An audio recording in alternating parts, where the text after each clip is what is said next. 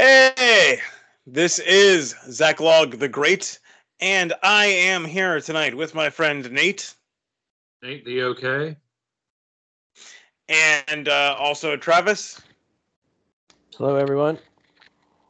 And uh, we are getting together tonight to discuss um, an excerpt, a uh, section of um, uh, Horatius at the Bridge by Thomas Babington, Lord Macaulay. Uh, we are doing a section because the entire thing is 600 lines long, um, and uh, it seemed best to me to cover this in pieces. So um, tonight we are doing approximately the first hundred lines, um, and uh, if I if I gave these kind of chapters a title, I would call this uh, the mustering. Is uh, what I would call this section. Um, does that sound does that sound accurate to you guys? By the way, I think so. Yeah, uh, depending on where we stop. I, I could. I forgot we are doing just hundred lines, so I read the whole thing. well, it's it's worth reading the whole thing. Um, Very so, much it. I mean, I Excellent. It's just kind of Um, off my head. Okay, so um, we're um, yes, uh, we're not going to get there tonight, but I will say um, this poem includes one of the best martial speeches in all of English literature. Okay, it is right up there with um, you know uh, Saint Crispin's Day speech from Henry V. Okay, we're not getting there tonight, but that is a part of this poem. Um, Nate has agreed uh, to read the excerpt for us tonight. So um, I'm going to hand it over to him in just a moment. Before I do that, um, if you guys like my work, if you'd like to um, support my channel, you can go to um, subscribestar.com slash zaklog hyphen the hyphen great. And the link will be in the description. And you can sign up um, to uh, support me there for anywhere between one and uh, five dollars a month. Um, and thank you to um, the uh, my current subscribers for doing so. All right. Having said that, let me get. Oh shoot! I s- do I still have screen share on? Yeah. Did, yeah. Oh God! Would you mind if we? Re- the Yoda Catman? Uh, would you guys mind if we restarted? I would very much. I want that to be part of the video. Okay. it doesn't Okay. hurt anything. No one cares. My, my brave Gallic ancestor. You could have said something. Oh well. Anyway, uh, uh, as I was saying to Nate earlier, there have been worse mishaps in uh, recorded conference calls. Uh, so, um, let's let's see. Um, now the um, part uh, we are going to talk about tonight, I will put up here, and Nate uh, will uh, read for us. Um, it's lines one through I think it's ninety-seven. One through yeah ninety-seven. Okay. Anyway, uh, let's see, And I'm looking forward very much to carving apart these place names.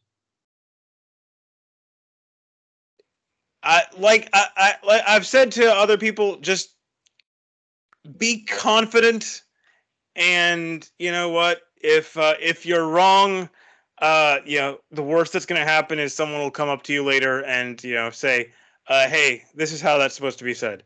Um, I've been through that a few times myself. Just go for it, and you know you're doing your best. All right. I would re- would I So- return to the earth and as my ancestors burned down all these places eventually, so I ain't worried about it. okay. I've got Yeah, I guess. a whole lot of barbarians in me. All right. So Horatius at the bridge, section one, uh, the mustering. Oh, let me get us back up to the top. All right. When you are ready. Ooh, Can you zoom that a little bit? Uh, most likely. That's probably too much. Is that That's good? Okay. Horatius at the bridge. Thomas Babington, Lord Macaulay. Lars Porsena of Clusium, by the nine gods he swore, that the great house of Tarquin should suffer wrong no more. By the nine gods he swore it, and named a trysting day. Bade his messengers ride forth, east and west and south and north, to summon his array. East and west and south and north, the messengers ride fast. And tower and town and cottage have heard the trumpet's blast. Shame on the false Etruscan who lingers in his home when Porsena of Clusium is on the march for Rome. The horsemen and the footmen are pouring in amain from many a stately marketplace, from many a fruitful plain, from many a lonely hamlet, which hid by beech and pine, like an eagle's nest hangs on the crest of purple Apennine.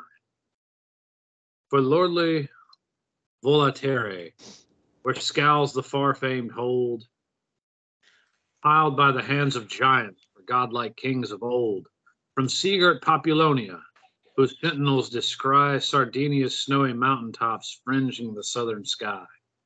From the proud mart of Pisae, queen of the western waves, where ride Mathilius triremes heavy with fair-haired slaves, from where sweet Clanis wanders through corn and vines and flowers, from where Cortona lifts to heaven her diadem of towers. Tall are the oaks whose acorns drop in dark Auser's rill. Fat are the stags that champ the boughs of the Ciminian hill. Beyond all streams, Clitumnus is to the herdsman dear. Best of all pools, the fowler loves the great Volsinian mere.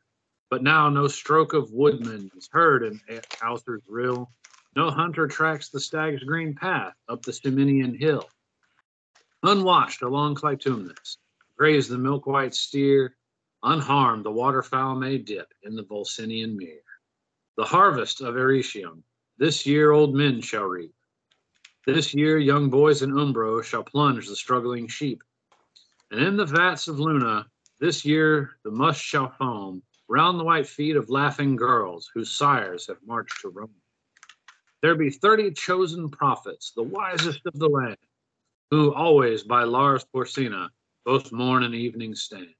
Evening and morn thirty have turned the verses o'er, traced from right on linen white by mighty seers of yore.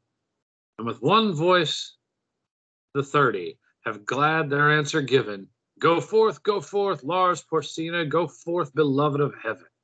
Go and return in glory to Clusium's royal dome, and hang round Nurscia's altars the golden shields of Rome. And now hath every city sent up her tale of men. The foot are fourscore thousand, the horse are thousands ten. Before the gates of Sutrium is met the great array. A proud man was Lars Porsena upon the trysting day. For all the Etruscan armies were ranged beneath his eye, and many a banished Roman and many a stout ally, and with a mighty following to join the muster came to the Tusculan Mamilius, prince of the Latian name. Okay. And let me can't stop sharing at the time I intended to this time. um Travis. That last stanza then. What's that? I guess we weren't supposed to get that last stanza in this time because it starts listing the big heroes. Oh no, no, no, that was ex- that was where I meant to stop it. Um, because the next the next stanza uh, starts describing the situation in Rome. Um, Yeah. so, um, which I have to say, uh, doing. Go ahead, Travis. No, no, you go ahead. I was just gonna say, um, doing this project has been uh, interesting. I, I, I, an interesting problem I hadn't developed, hadn't had before, because I've had to figure out where to split this up in different parts, and it's um, like finding sections of roughly fifty or sixty lines um, that that kind of form like a chapter in this, uh, or kind of make a scene. Um, it's eh, like almost every time I've I've I have gone back to it, I'm like, okay, do I want to do it here or here? Um, and it's not it's not always easy to to uh, find that kind of thing. But um, Travis, uh, would you like to uh, start off with uh, your with your thoughts? Sure. Um, so I mean, having I did not actually read the whole poem. I only read through, but I watched the uh, YouTube video that you sent out there with like background info, so I know what's going on. Um, it's interesting because I mean I know where this is going and that it's sort of a story about Rome, but you get these first hundred lines and it's all about you know Lars Porsena and uh, the Etruscans. Is that the name, the city or whatever? Yes. Um, so it's an interesting. I guess I'm sort of curious how they make how the the poet makes the switch, you know, to get you on the side of Romans. But it, um, I don't know. It's an interesting, interesting way to open it. Uh, just basically to say, hey, the Etruscans are going to take Rome. um, There are The- very many. It, what, Go ahead. What was that? Is it? There are a whole lot of these guys. yeah, it's Yeah. um it actually uh, reminds me a little bit of one of the other uh, relatively long poems I've done, which is um, uh, what is the name of it?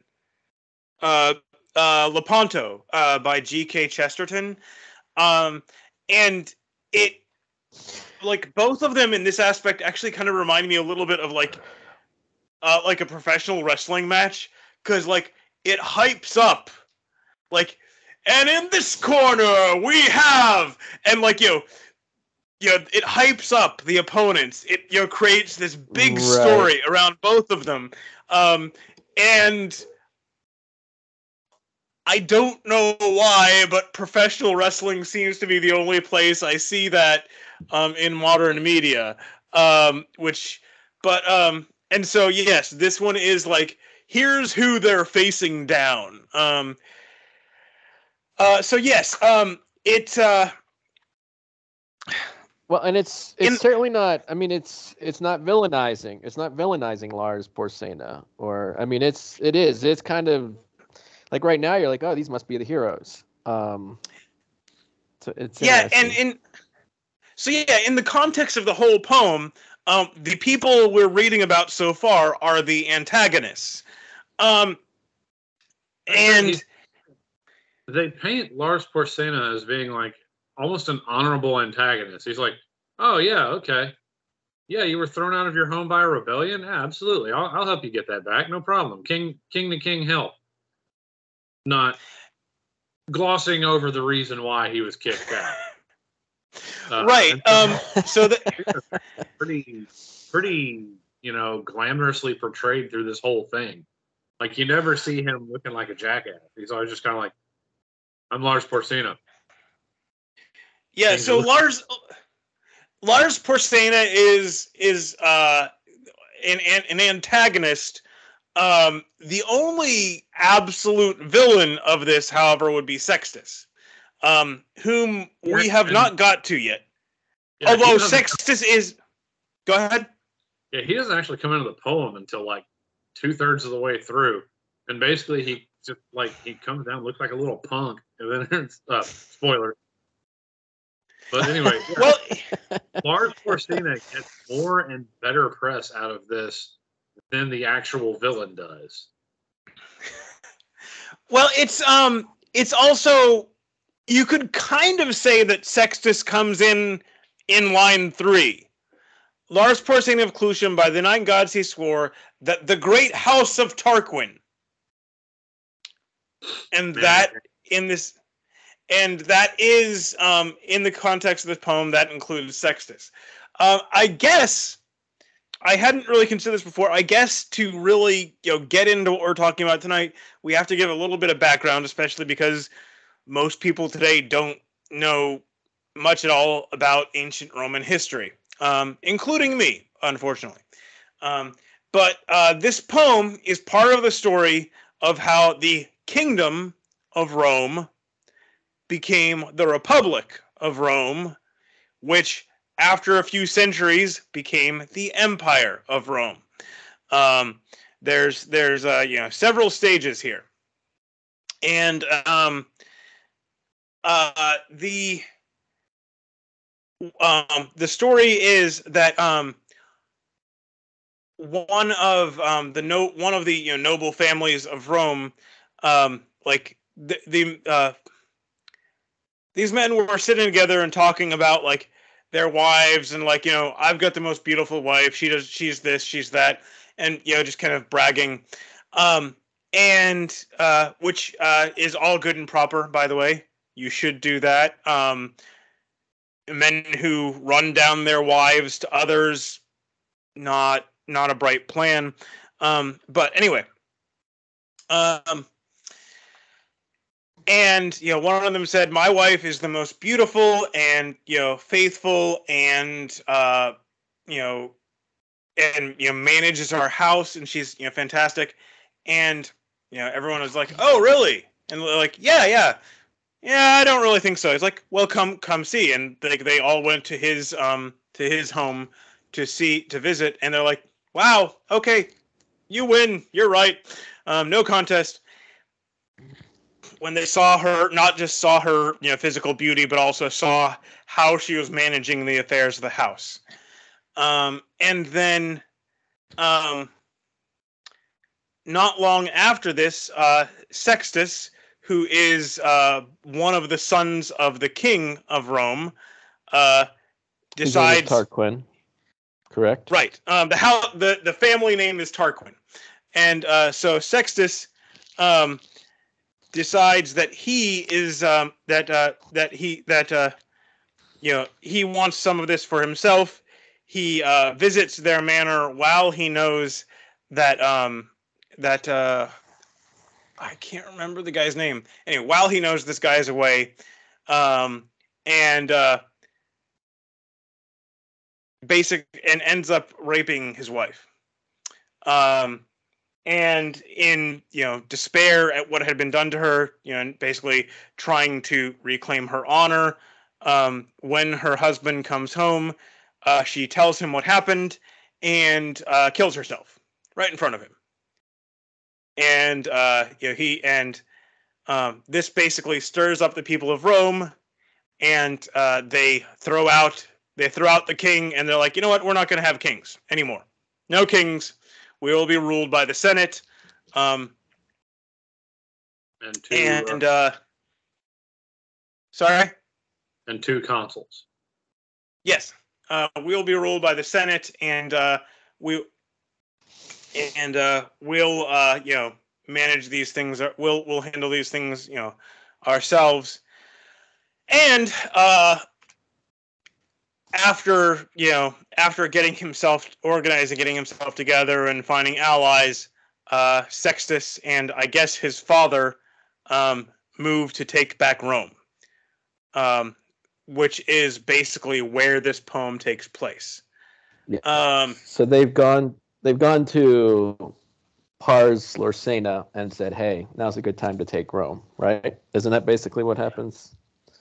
yeah, like he's um, he's basically their their biggest ally. He's basically the the uh, Right. you know the main guy who they're you know relying on to you know help to um to regain their kingdom and yeah it's um it is interesting how they set this up because yes you know lars porsena overall you know is you know treated very is you know portrayed very honorably and decently um and it even says in the second stanza like shame on the false etruscan who lingers in his home when Porsena of Clusium is on the march for Rome. And it's like, if you're an Etruscan, this is where you're supposed to be. Are you at home? You know, if you're an able-bodied man, this is your fight. What are you doing? Um, Yeah. Well, I mean, And- he's he's the lord. He's the lord of those places. You know, you you serve your lord, and he. I think he gets honored in this because while his allies are villains, he is being a faithful ally. He's like, nope, nope. Said I would help. I said I, you know, I said I was your friend. I am your friend. Let me help you. And so he doesn't just kind of, you know, like go in there with a limp wrist and kind of like, eh, okay, I tried, whatever, get out of my house. Like he draws his full power and goes down to smoke him some Roman. But Um, that's probably really only so he can acquire more power. I mean, let's be honest. I don't know. I haven't. I don't know the history that much, but I don't think it's just because Um, he's like, "Oh yeah, I'll help you out out here, Tarquin." Well, no, it's never. but about yeah, that. and but he's still, you know, he's still at least, you know, visibly showing up. Hey, yes, I follow the values that are, you know, of our time, and so you get honored for that, whether you have an ulterior motive or not. Right. and it's um it is also interesting like the very first section you know is basically this is the territory where he's calling up all these men. These are where his messengers are going. These are the people who are being called up. Um and this is kind of the the landscape where you know this whole thing is set. Um you know the uh the the from lordly Volaterra, where scowls the far famed hold, piled by the hands of giants for god, from godlike kings of old. Um, and again, he, he very quickly, you know, creates this imaginative landscape of like you see, you can see. Yeah, if this were a movie, I guess there would be you know kind of a camera panning over a countryside, and every once in a while it would linger on this spot or that, you know, showing you know where the where these riders arrive and the message they bring. Um, See it being like one of those like paper fantasy maps, like they got like the the very, you know, it's like a dotted line, like squiggles, and then all of a sudden there's this extremely well illustrated thing that's like, yeah, we're going there. Then there's like this beautiful like drawn lake with like creatures. It's like, yeah, this is the Volsinian mirror. Look what happened here, and it does all that. That's kind of more how I see it. Then it like actually cuts to real time, and there's people oh throwing out spears and grabbing shields and it's also kind of interesting me, to me um, this uh, the, in kind of the second half of what we covered today because he's like okay here's this beautiful landscape. Here's all this wonderful thing here. It is now empty. We have called up everyone. You know there's no there's no woodman you know cutting down the trees where he usually should be. Um, no one's out hunting these beautiful deer to bring home to their family. And you know it, sorry what It's like nobody's watching the cows. There are gonna be a lot of calves and stuff that people are gonna be like, you know, fighting over when they get back home. Like, hey, that's my that's a my cow. What you doing? do not speak Italian to the goats. Um, uh, but yeah, So- and it's so- um, go ahead. Well, it's very idyllic.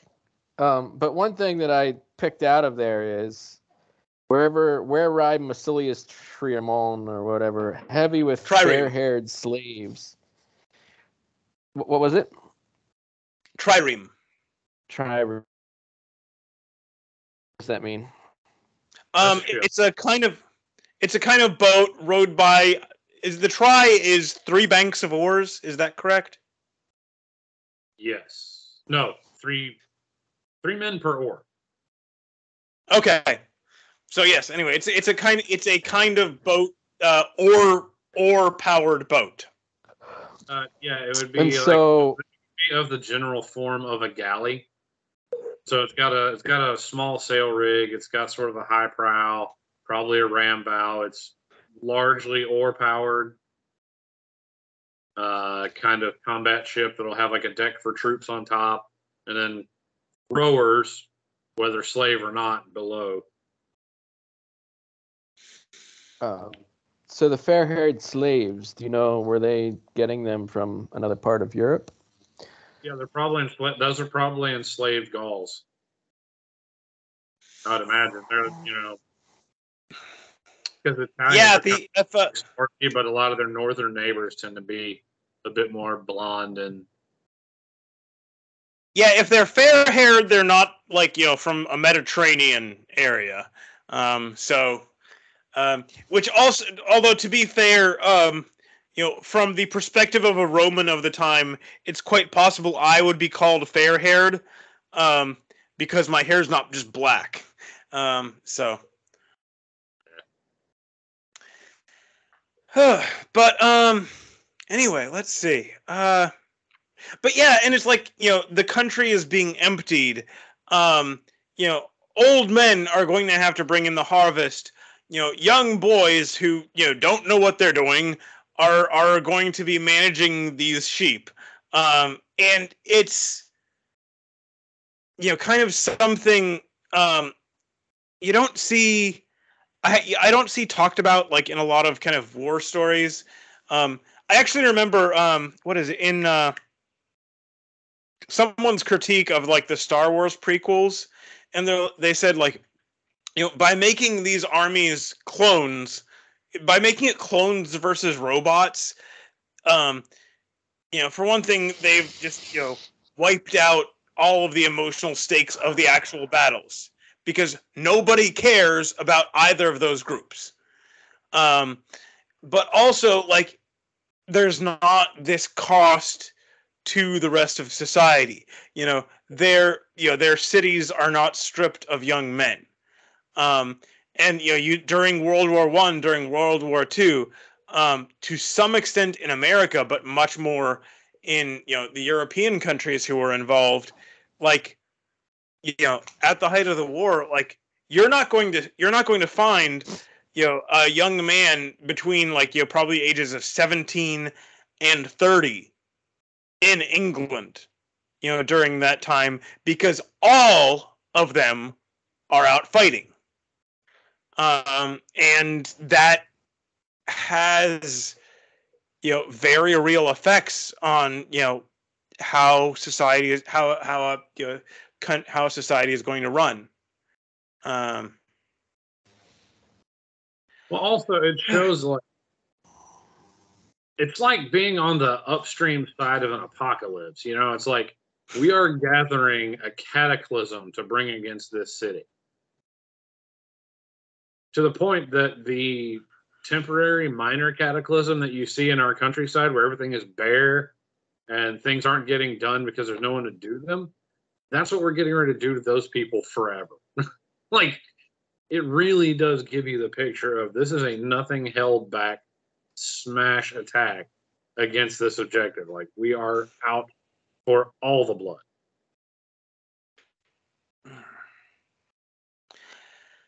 Yeah, and it's um you know, and then they get to the point where like here's here's where the men aren't. You know, here's the vacuum and now here's where they are. And now hath every hath every city sent up her tale of men. The foot are fourscore thousand. Um, eighty, eighty thousand. The horse are thousands ten. And like you see, you see this great force gathered together um, and and like I said, it's a little bit like um, it's a little bit like it does in Lepanto. It's a little bit like um, it's a little bit like does in Lepanto. It's a little bit like you know, kind of a pro wrestling kind of thing. And in this corner, the great da da da da da da who did who defeated so and so, and you know, and so yeah. In a way, it's kind of you know the poet you know putting the people in the corner is like okay now flex um, so.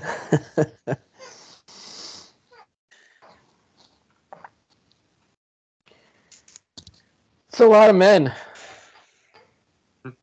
Um, Eighty thousand.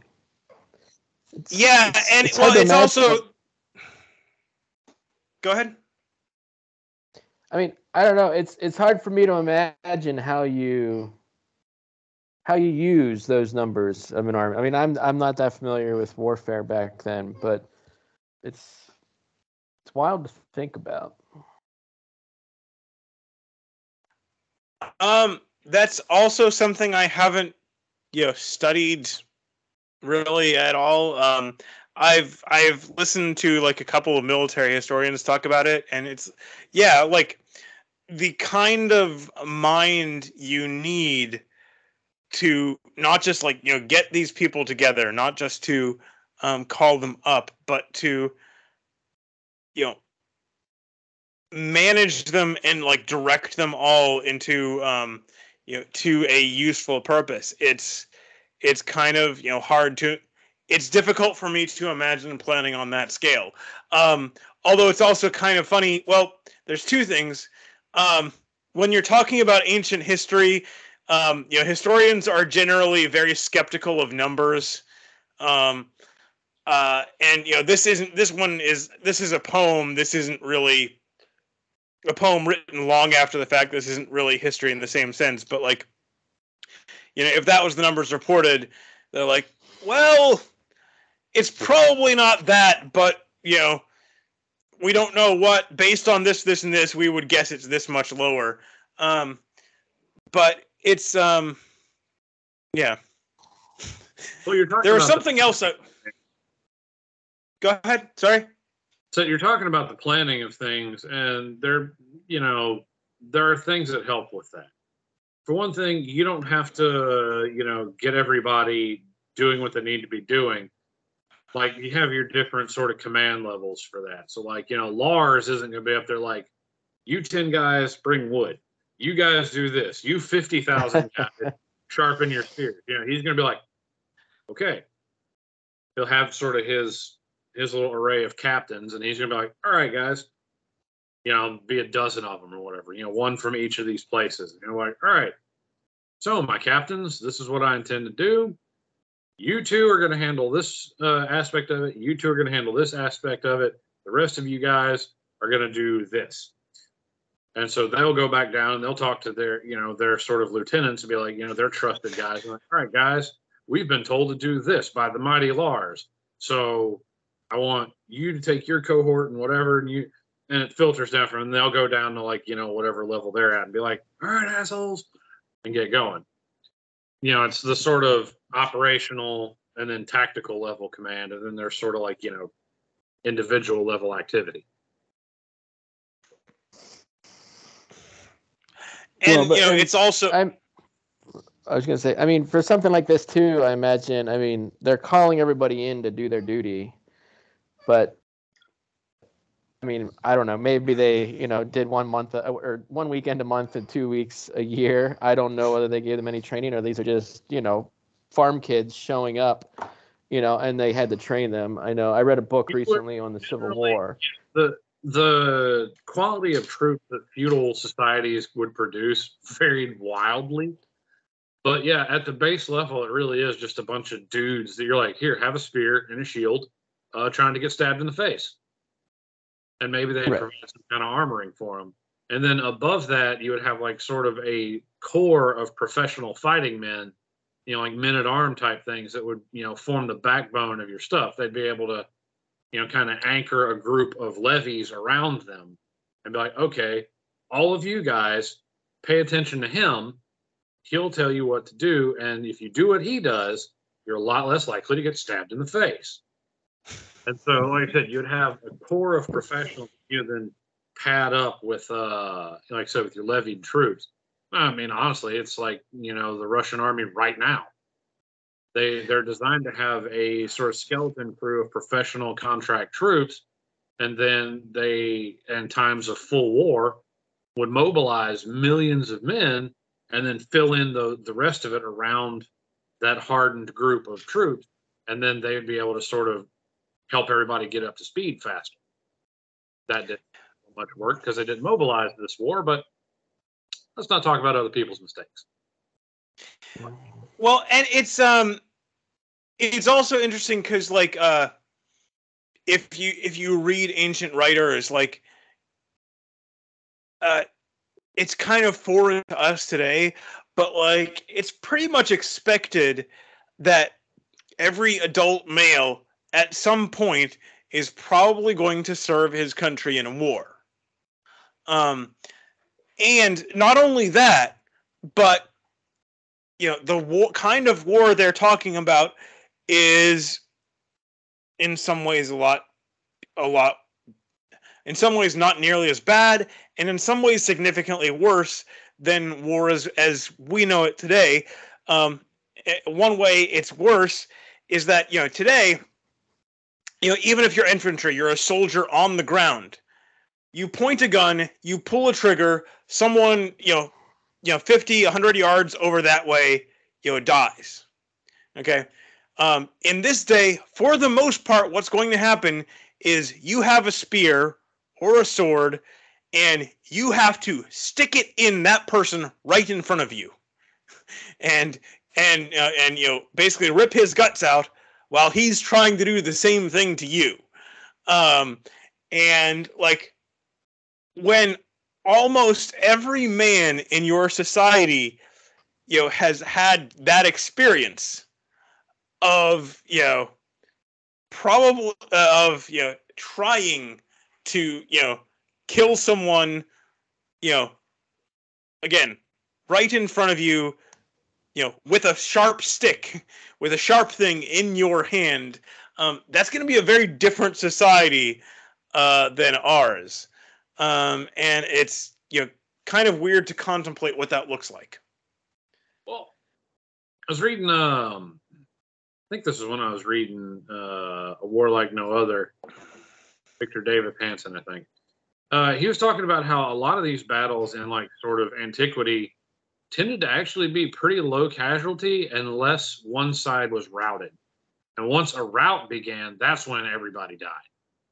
Like, because it's, you know, you're all in the scrum, you're trying to get at each other. People are going to die, sure. But it's actually like, you know, tends to be pretty hard to get at people, especially if there's, you know, sort of armors in the way. And so what you'd end up with is it basically is, you know, who could endure. So you didn't end up with a lot, quite so much of like, you know, the blood and guts fighting as it is like a sort of mass wrestling with an occasional guy getting killed. Still not yeah fun, but and but like I said, it's not you know, it's not like, you know, just a charnel house of gore.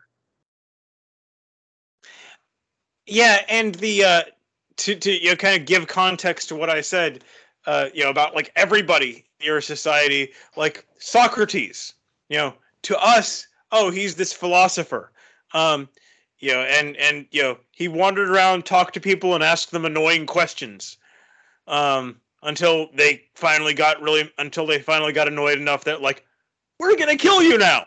Um, before he was a philosopher, um, he was a soldier for a while, and if report if uh, if I recall correctly, uh, you know, uh, a pretty well respected one, um, and you know, probably fought in some of Athens' wars a few times and killed a few people uh, in that, and so it's again. Um, what your society looks like when that is a near universal experience for your men, it's kind of weird to contemplate. Um, I don't know. I don't know whether. Oh, go ahead, Travis. Um, well, I guess a couple of things. I mean, I read a book on the Civil War recently, you know, and one of the things was, you know, there were new troops coming in all the time. Um, and so training them was a big part of it and just just training them to drill and march together and like just those basic things like if the soldiers had had a few weeks to do that it made all the difference you know when it ended up in a battle um, was the one thing that i picked up from that um, and so i imagine when you're bringing people in like this and everybody's coming from the countryside that's probably like and I, I just wonder what kind of time frame is this? You know he sends out the word okay we're going to war with rome. I mean was it two weeks? Was it a month? Was it two months you know where they're building these troops and training them on the march to get there? It's it's another interesting question you know as far as time you know i, I don't know how that worked with the history of it But a lot of a lot of them kind of a lot of the sort of feudal societies. Again, you'd have your levies would be trained. It would be the responsibility of their lords uh, to give some sort of training. So I, you know, they be like, you know, hear ye, hear ye, uh, fortnight hence, you know, gather your arms and you know and accoutrements and meet us in the the keep, and we're going to drill you a little bit. And so, you know, they they got some training beforehand, but I mean, in the end, stand in a line, hold, you know, hold shield, use you know stab with spear doesn't take so it doesn't take a tactical yeah. It- It's mostly Um, about instilling in them the ability to stand there and do it instead of being like, this is distinctly unpleasant. I think I'll relocate myself. Um, and and another another thought was on the whole, you know, being right up against somebody, you know, sticking a knife or a spear or whatever into them versus shooting. I don't know. I had a conversation with someone, and I don't know. I'm. I almost think that our society has has lost something because our war and our death is more abstract because they are a hundred you know miles away or with drones you know they're completely on the other side of the world or whatever um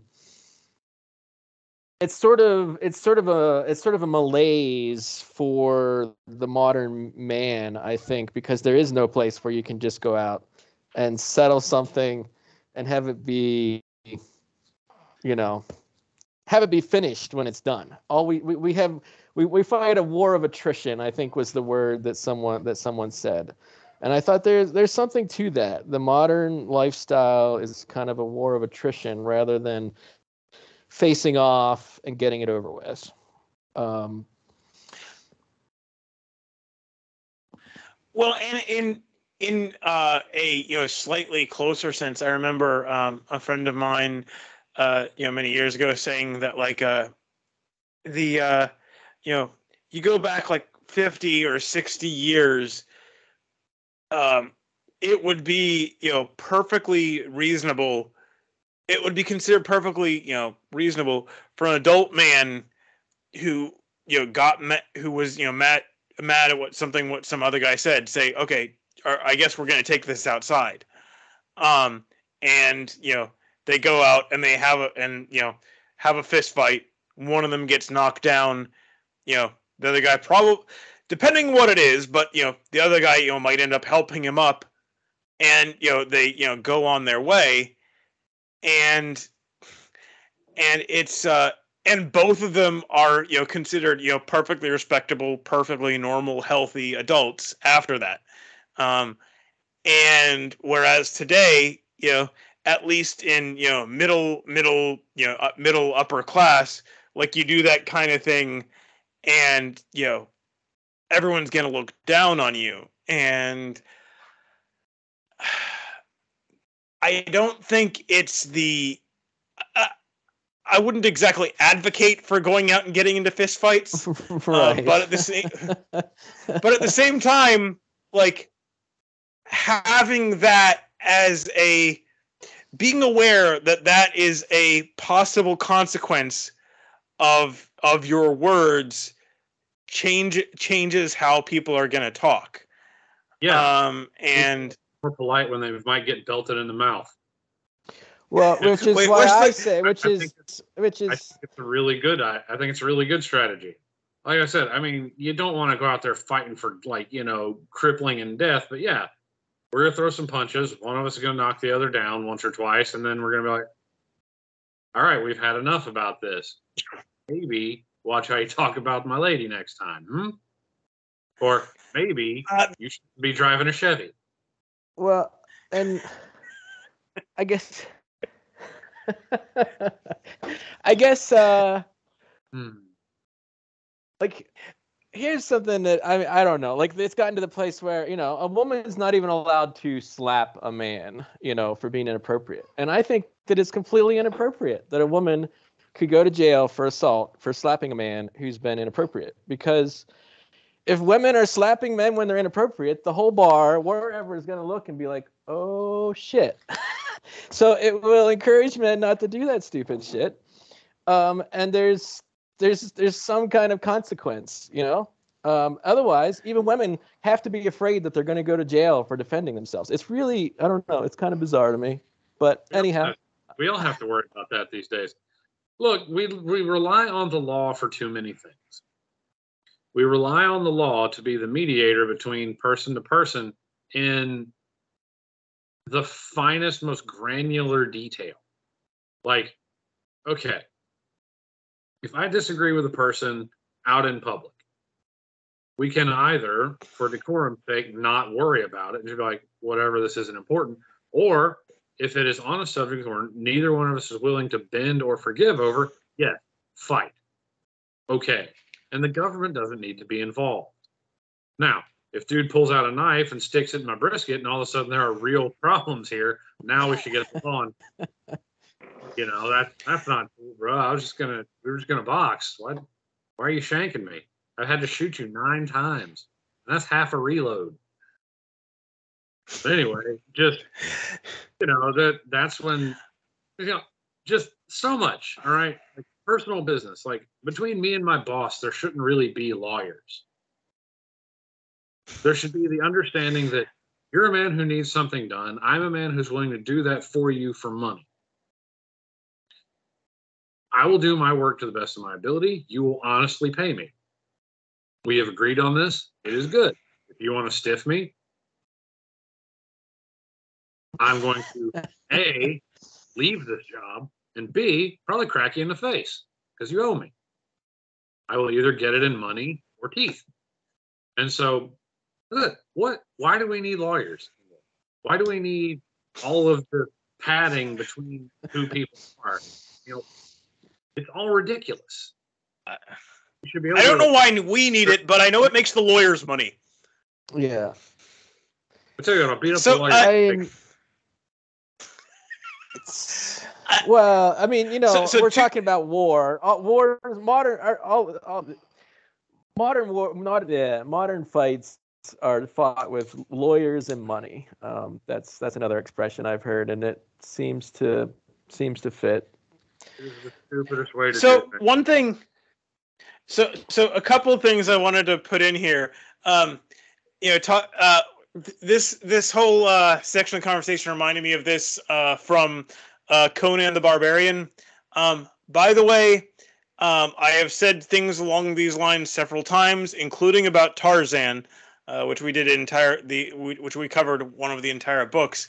Um, if you haven't read the originals, in this case, the stories by Robert E. Howard, don't assume you know a thing about Tarzan. If you haven't read the originals by um, Edgar Rice Burroughs, don't assume you know Tarzan. Okay, the fifth generation copies are not the original.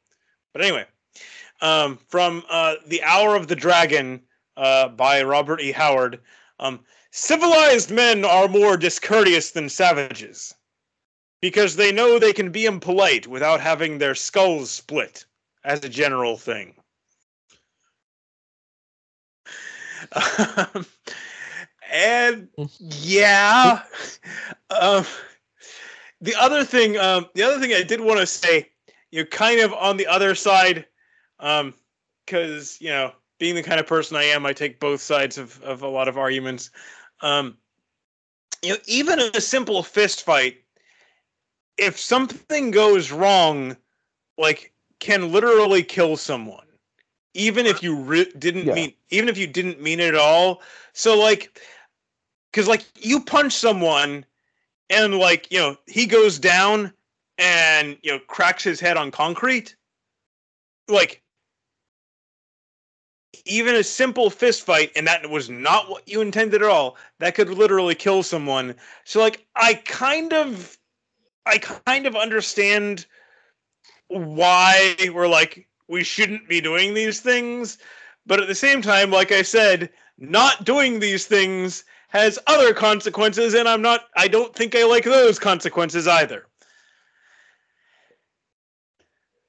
like I said, it's one of those things you have to weigh the consequences of what could happen if I do or say this thing versus, you know, my desire to do or say the thing. Like, you know, I want to tell this guy he's goofy looking and I don't think he's good at things. But he might have to go fight and, you know, I might accidentally kill him. Is it really worth it so he knows I think he's goofy looking and bad at things? Probably not. Uh, Or he might be yeah. But one thing he's his goofy looking self is really good at is punching out incisors. And then I'm gonna be sitting here with a big gap in the front of my face, like, man, at least he's still goofy looking. now I am too. Uh, I still kind of like mutual combat as a, a a way to solve interpersonal disputes. Yeah, and I, like I said, I'm not, I, I'm not entirely against it. I, but I'm like, there I'm- are. I, I kind of understand. See, but I, I see positives and negatives on both sides. Well, there always are. Now, as a person who has resorted occasionally to personal combat to resolve disputes, I guess I'm biased, but it's a clean resolution. Like it's very obvious. Oh, hmm, yes. Our well, it's positions are very, clean and it's it's it's clean in its way, but it's it's not clean. There, I don't I don't know. I think that's Look, part of the thing. Like the, whenever the- whenever, the issue, the issue is done. It, but it's not sort of, not not if the guy goes off and he wants revenge and he comes and he stabs you in a dark alley afterwards because you made him look bad because you punched him. I mean, I, I- uh, uh, uh, what I'm saying is. I mean, I, I get what you're saying, but it, it's it's always a bit more complicated. Like power struggles, it's nice whenever, you know, whenever men actually agreed upon resolving things that way, it was a clean end in some way. You know, there'd always be somebody that didn't follow the code or whatever. But I mean, even in in the cultures that still do use this as a way of solving problems, they would never they would never file charges for assault against someone that started a fight with them. Like that's just part of their code, you know, from what I've heard from people. Um, today, I mean, you have to assume whoever you get into a fight with is going to, you know, charge you with assault. So, I, I guess, I guess what I'm I don't know what I'm saying, but it's never clean. There are no clean lines with any power struggle, really. So what I hear you saying is human nature is complicated. Yeah, I'll say that. Yes. Yes. Human nature and power are complicated. Um, so let's see. Um, one thing, um, one thing to yeah, as, as our phrase is to get back to the poem. Um, one thing fascinating, like I said, it it you know sets up this you know the the the the scale of this struggle um and and like you know these are where all these people are coming from um from the stately marketplace from many a fruitful plain from many a lonely hamlet. Um and it took me a while to notice this um but i've seen it like several times. If you do it right having having your writing in meter and verse uh, in meter and, and rhyme um it it's kind of like it's kind of like steroids um it lends it lends it a weight um that is not there otherwise. It it gives it a it gives it a feeling of depth that you don't get otherwise. And it's like oh that's why every that's why they used to part of why they used to do this so much. Um because like you know you could say very much the same thing in prose and it wouldn't be near it you wouldn't get the same feeling you wouldn't get the same impact out of it um as it as it does like i said with the meter and with the rhyme it it's an amplifier and it's you know fascinating to recognize how uh, to see a little bit of how that works in, in So, which line were you pointing out when you said that? Well, just the um uh where it talks about um all of the all of the uh know where his messengers went and called up their cities um, and called up the, the soldiers. Um the horsemen and the footmen are pouring in amain from many a stately marketplace from many a fruitful plain from many a lonely hamlet where hid by beech and pine like an eagle's nest which hid by beech and pine like an eagle's nest hangs on the crest of purple apennine. And it's putting having it in meter, having it in verse, like it, it kind of gives it a weight that I, I don't think would be there otherwise. Um, it makes it more impressive. It makes it more um, more impactful. Oh God, did I actually just use that word? I mean, it is a word. It's a useful word. It's just that it tends to be, uh, you know, drawn in service of the enemy. Uh, but anyway, I mean, bad This- feelings about common words is problematic. uh, what was uh? Now I'm thinking of uh, one of Terry Pratchett's books where he talks about uh, wh- where uh, um, Moist von Lipwig talks about uh, synergy. That one was already always a slut from the beginning. Um, some something to that effect. I forget. Uh, so, um, go ahead, Travis. Things are Yeah, looking so rough. on the uh, on the clean note, I mean, I just had to thought, you know, slitting someone's throat is kind of a clean ending, you know, to somebody who's a problem too. Um, yeah, but it's what's that? usually a little extreme. I don't know, but Um, uh- it, it, it's gonna come with it's gonna come with with problems. It's not it's not it's not clean ultimately, as clean as it may feel. On the other hand, like if you're dealing with, for instance, someone, uh, someone of uh, guilty of uh, Sextus's uh, crime here, it's like, yeah, I'm perfectly happy with that resolution. Um, I, I think that fits.